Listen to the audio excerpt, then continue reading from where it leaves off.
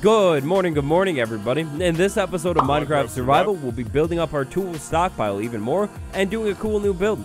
Do me a quick favor, go down below the video, hit the like button, subscribe if you're new, and finally, enjoy the episode. Good morning, everybody, and welcome to the world record holding survival world, the Vine Farm. Look at it, I've done it. At the end of the last episode, I said I would fully replant this vine farm, and I've done it. Now, vines, they're not exactly on the material list today. We don't really need these things, but it's good to go. I just wanted to let you know. And then also down here, I've spread the glow berries. Look at them. They're literally glowing. Uh-huh. no name, you savage, sick beast. Your trial, when is it? Ha ha ha, you're still waiting. You will not have trial anytime soon at all. Savage, the sick beast, I can't believe what you did to Yellow. Oh, poor Yellow. The moment. And Yellow. Yellow, erase this. No. How did that even happen? How did that even happen? Not my finest soldier.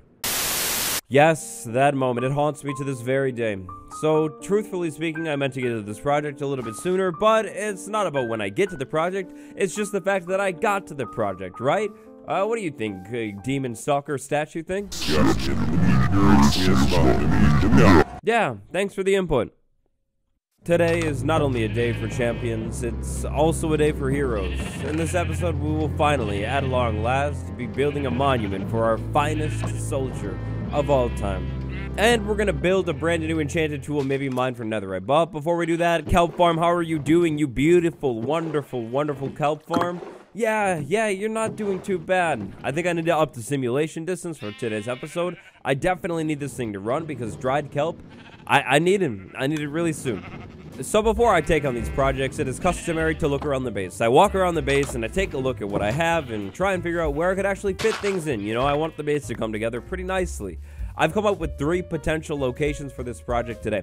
Project location number one could be out there at the sunrise, just looking at me, yellow, forever, every single morning. It's a perfect start to a day.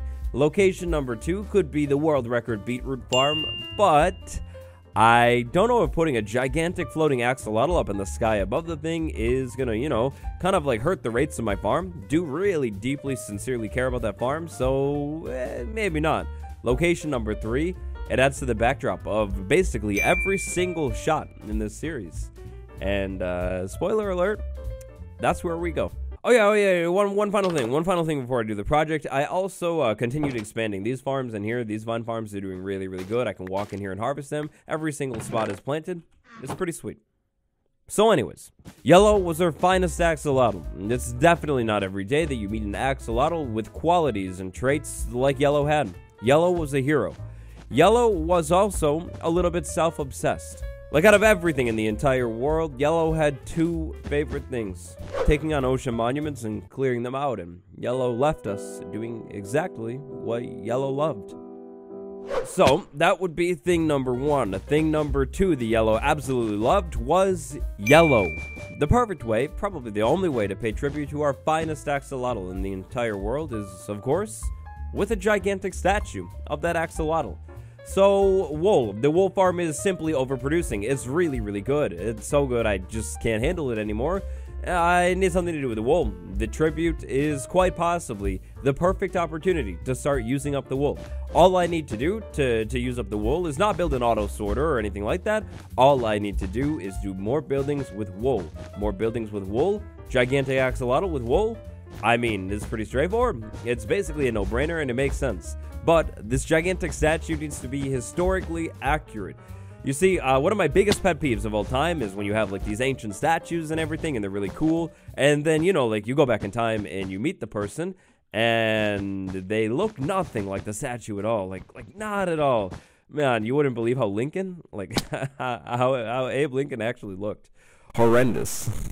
This piece that we're working on needs to be historically accurate, so I did a little bit of research. It's been a while since Yellow left us. I couldn't remember exactly what Yellow was looking like in their prime, so I tried to do research. All of these images definitely kind of fit, but this one, this one in particular, this is very striking. Take this image and put it inside of a photo analyzer and count the pixels. We need to break it down block by block. I want this to be a one to one replica. So that's 1, that's 2, that's 3, that's 4, 5, 6, 7, 8, 9, 10. Damn, that's a tall axolotl.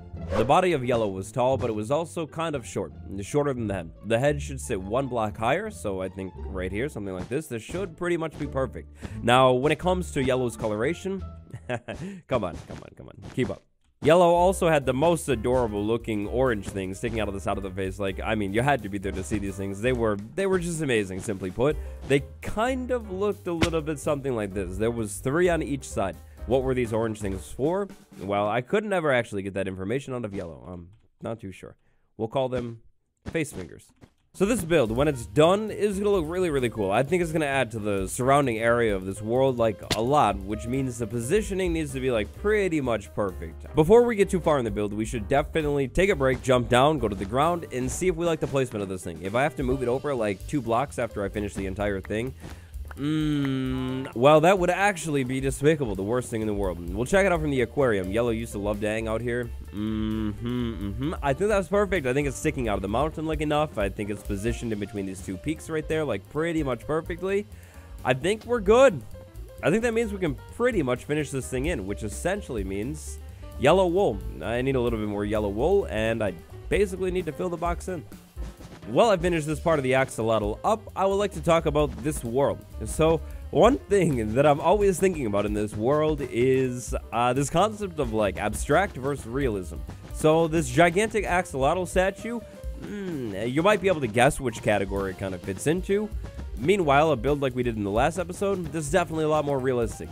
I'd like this world, when I'm done with it, to be kind of a combination of both. We have these really realistic, cool looking builds, but then also these builds that are a little bit more abstract. I feel like the abstract builds are not only really fun to do, but they stand out, and they really make the world look a lot more interesting. I also feel like in the previous series, for the most part, we went like 100% realistic style, which was fun and, and nice, but I think we can make it even better. With all of that being said, though, I struggled with this build. I knew I wanted to set this build up, but I couldn't decide for like the longest time before the episode where I actually wanted to put this thing. I was kind of torn. I was partially worried as well that putting a gigantic floating axolotl statue, you know, off of the side of the mountain might kind of make things look a little bit more strange, but I think it's a vibe.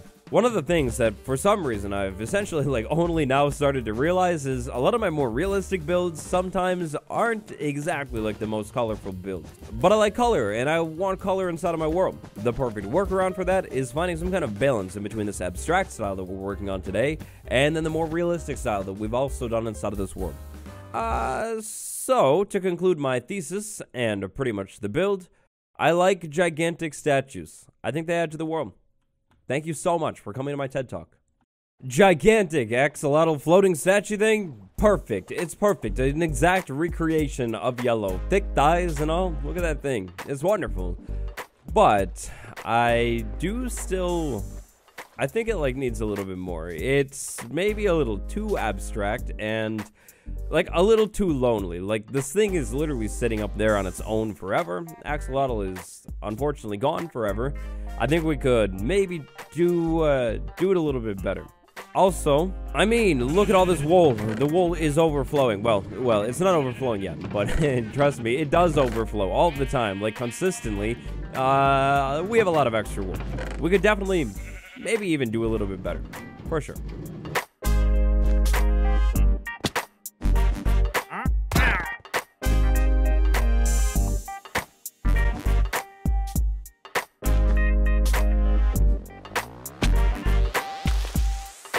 There we go. That's a lot more like it, but it's still definitely missing something. And there's one more thing. Ah, yeah, that's it. That's way more like it. Three balloons, so of course, hold up the gigantic axolotl airship. Three more axolotl near yellow, so yellow is not lonely. That's perfect. Oh yeah, and by the way, the lime axolotl, I will never forget the lime axolotl. Ever. It's perfect, it's wonderful, it's kind of realistic, and it makes sense. It's perfect, it's a nice addition to the world. Kind of an emotional moment too, really. I'm sure Yellow would be so proud at this moment. Anyways, it's enchanting time. So I've had this long, reoccurring issue inside of this world. That issue has to do with the Silk Touch pickaxe. More specifically, the Silk Touch pickaxe literally not existing anywhere. Aha, look at that. I forgot that I had those right here. This makes everything even easier. We need a Silk Touch pickaxe. It is long overdue. And not only do we need a Silk Touch pickaxe, but that Silk Touch pickaxe needs to be efficiency 5. A Silk Touch pickaxe. Please work. Okay, fine. Okay, fine. That will get us to efficiency 5. That's fine, that's fine. A small consolation prize. I know how it goes in this world. It's okay, as to be expected. Uh, next up, Silk Touch. Right here. No. No. Stop. Enchanting table, I spit on you. Continued harassment from you. Uh, constantly inside of this world. Unbreaking three, give me silk touch. No. No. What is wrong with the enchanting table in 1.18?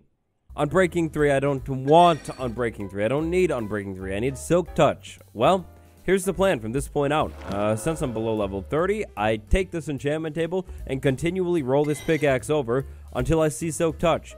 I know what's in here. Sooner or later, we've got to have it. And then, after I find it right there. Nah, that would have been cool. Hey, wait a second. After I find Silk Touch. That's terrible. That's terrible. We can get that so much better. Sooner or later, it'll work. Eventually, I find Silk Touch. Easy, I swing over to the nether, level myself up a bunch. Then I come back over here and collect Silk Touch. Pure profits. Nice and, uh, well, not exactly easily, but nice. Definitely nice. Is anybody else's enchantment table like this since 1.18, though? Like, seriously, all of the books are here. They're fine. Everything checks out. It should be perfect. And it's miserable. It's painful. It really hurts. And I hate it.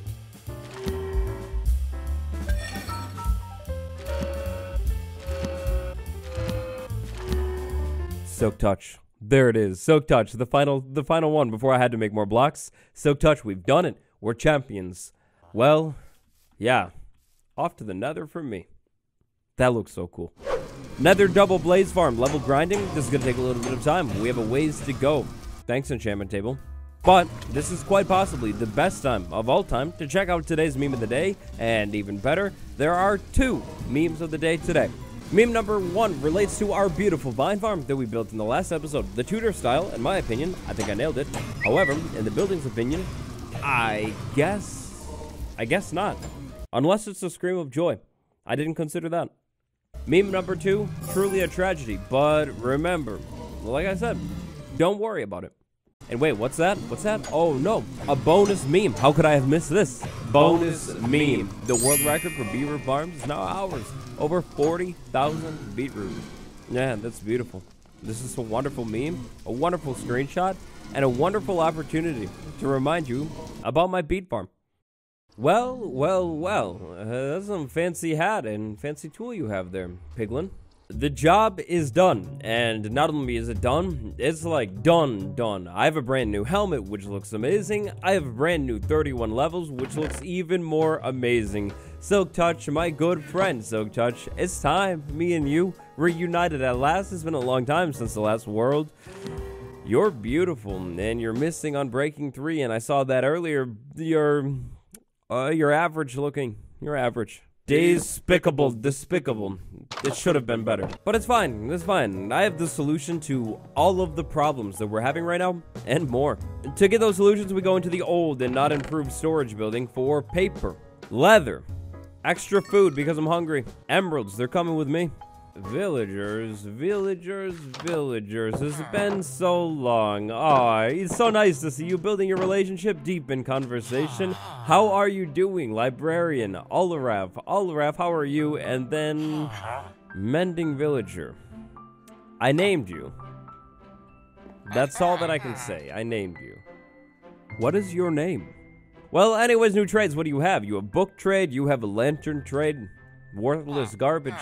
Well, with mending done, taken care of, all we need is two Unbreaking 2 books. We combine those books, not a problem at all. We get Unbreaking 3, and then it's problem solved. Of course, you know how it goes, though. Villagers, kind of a ripoff. We're gonna need more money. More money? Carrots. And you know what? I just realized it. Learned it on the beetroot farm thing. Uh, definitely should have been fortuning these. I, that's my bad. All day long, I look at carrots. I see carrots, and all that I think of is profits. Pure, easy, nice, delicious, smooth profits. Right here, this farmer that is actually maxed out now. Now that I take a look at it, do you have any? You do have new trades. So what does max level farmer have? Oh. Oh, actually, hold on. Hold on a minute. You tell me you've been taking my carrots and combining them with gold and fusing them together and giving golden carrots? Wow. Truly, they don't call you a master farmer for nothing. I see. But that'll do for today. Time to go next door. Olarav, Olarav Unbreaking 2, Olarav, thank you so much. And 14 emeralds to spare left over. You're really the kindest. To be honest, I can't remember where the closest anvil is, so why not make a new one? The closest anvil will now forever be upstairs, inside of this building. I feel like that makes sense. Unbreaking 2 plus Unbreaking 2 is only 3 levels. What a deal. There we go. Then, Efficiency 4 plus this is only thir ooh, 13 levels. Eh, 5 levels. That's more like it. 5 levels. There we go. Plus Mending. Easy. Plus this. Piece of cake. Plus Netherite. Back up to the mountain for us. Netherite pickaxe, the final netherite tool that we'll ever need in this entire world. As long as we keep everything safe, you're special. You need a name. So there's this album that I'm like absolutely, fully, wholeheartedly obsessed with ever since it dropped in the fall. I'm a big music fan. Practically, I can name every single album, but this album, this is a different level. This is immaculate. It sets the vibe, sets the tone every single day. It's perfect. Perfect and nothing less. Don't get it twisted. I'm not naming this thing after a blue furry creature. No, definitely not. I'm a music connoisseur myself. There's a reference here in this pickaxe. I will not be able to explain it, but there is a reference. If you haven't experienced it, you haven't lived. And so with that, I think we've done it all. Netherite sword still needs a name. This pickaxe, that pickaxe, this thing, and that thing right there. Plus the bow, plus the trident. I think we've got it all covered. Minecraft Survival 34. That's it for today. Hope you enjoyed. If you haven't yet for some reason, now is your final chances of this video to absolutely annihilate the like button. If you don't do it today, you'll have to come back tomorrow, and yeah, it's just more efficient to do it today. What do you think about the mountain and how it's coming along? Let me know down below. Patreon gang, a big shout out GB Fan 1984, Devins, Bill Geek, and A Johnson 6494. Thank you all so much for the support. Yellow, deeply, sincerely, I miss you. Goodbye, everyone.